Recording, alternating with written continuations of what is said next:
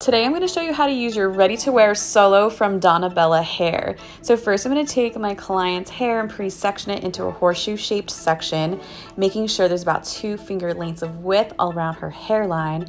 And then I adjust the solo so it fits onto her head size and then place the solo right on top and further comb her natural hair right on down, kind of blending in the clear elastic that's right on top. And then I take a two inch wand with some product and continue to curl her natural hair along with the solo together so we get a nice blend and then cool these curls into place. So once these curls are done, I then take out the two prong clips, comb the curls out for their shape with more hairspray, and this gives you an easy way to create instant volume length and perfect for any style or occasion.